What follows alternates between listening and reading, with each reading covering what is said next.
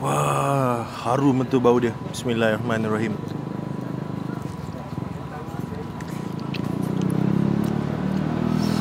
Wah. Sedap gila weh. Hello testing mic. Hai Assalamualaikum what's up guys. Okey hari ni aku nak pergi makan pizza. Ha bukan dekat pizza international ke pizza brand-brand daripada luar ke tak. Pizza tepi jalan je dekat Bukit Jelutong ni. So jom kita tengoklah macam mana rupa dia punya pizza ni.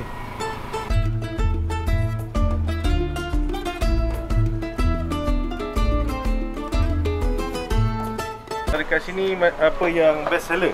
Okay, kat sini kita punya specialty is kita punya pesto lamb, Pesto lamb. kita punya streaky beef Okey. and kita punya smoked chicken. So ni lain daripada yang lain lah. Tiga ni lah eh. Tiga ni Tiga betul. ni. So ni special sebab kita tahu corn, spring onion dengan honey.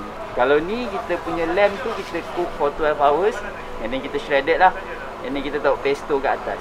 Dekat sauce tu kita tahu cumin and paprika paste. So ni actually uh, pretty base, basic tapi kita tahu smoked chicken dengan pesto and black olive.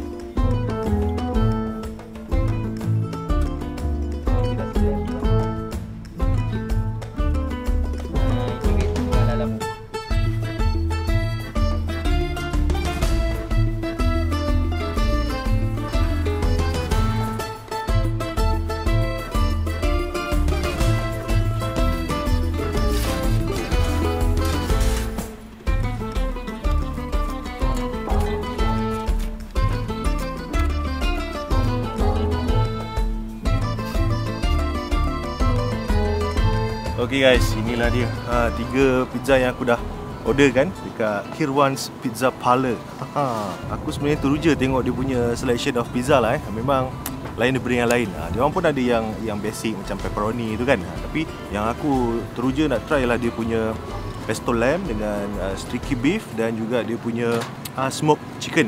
Okay, jom kita try dia punya pizza ni. Ooh, look at this. okay, ini dia punya streaky beef and honey. Oh lama. Jom kita try panas-panas. Look at this. Bismillahirrahmanirrahim. Hmm. Ooh, nice babe. Aku tak pernah makan pizza ada jagung babe. Ini something new lah. Eh. Tadi lepas dia dah habis bakar kan. Letak dalam bekas ni, dia orang drizzlekan dengan honey. Ooh.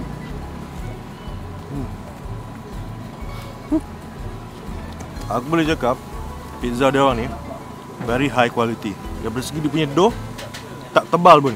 Ha, so that bila korang makan pizza ni tak adalah dua slice korang dah kenyang kan. One more time. Ini ada streaky beef diorang letakkan kat atas ni.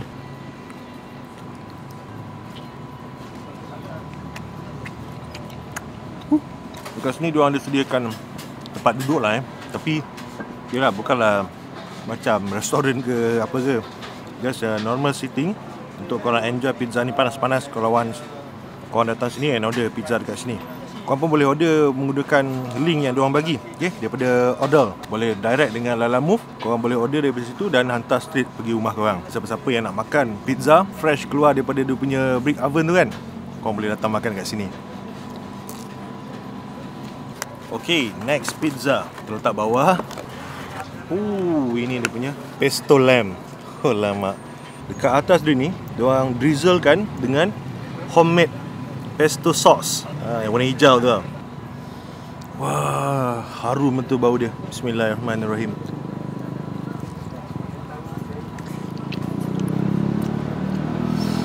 Wah. Sedap gila weh. One more bite.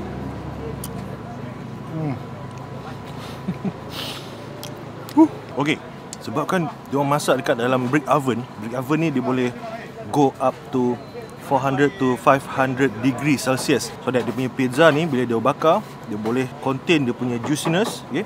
Dan dia boleh hasilkan Ini ha, Edges yang crispy Dia orang punya filosofi untuk buat pizza ni memang strong. Hmm. Lagi satu. Aku nak ambil yang ada banyak ni. Dia punya pesto sauce ni. Hmm.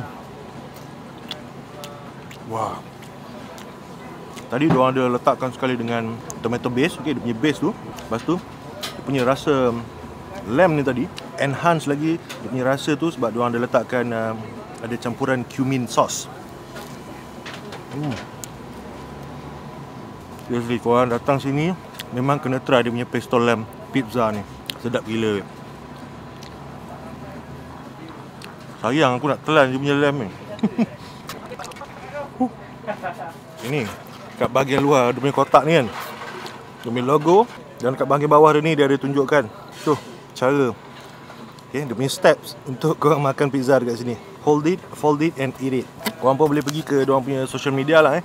Ada Instagram, apa-apa pertanyaan boleh roger diorang kat WhatsApp. Okay, the next one. Nak try dia punya. Ini dia punya smoky chicken.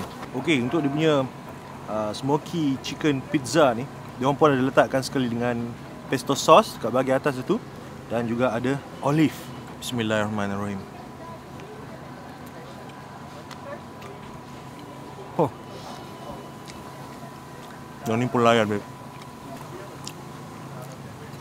Hmm, hmm. Wow. Aku suka dekat punya edges ni. Bahan-bahan yang diorang gunakan memang fresh. Okay. Aku dah makan tiga jenis pizza ni tadi. Tak ada satu bahan pun yang aku rasa bahan tu lama ke. Sebenarnya aku sangat-sangat amazed. Okay. Pizza tu berjalan macam ni boleh hasilkan kualiti yang sangat power, sangat powerful. Dan tadi aku ada borak dengan dia punya owner ni. Dia cakap dia orang ni kalau boleh nak expand tapi tak nak masuk ke dalam restoran.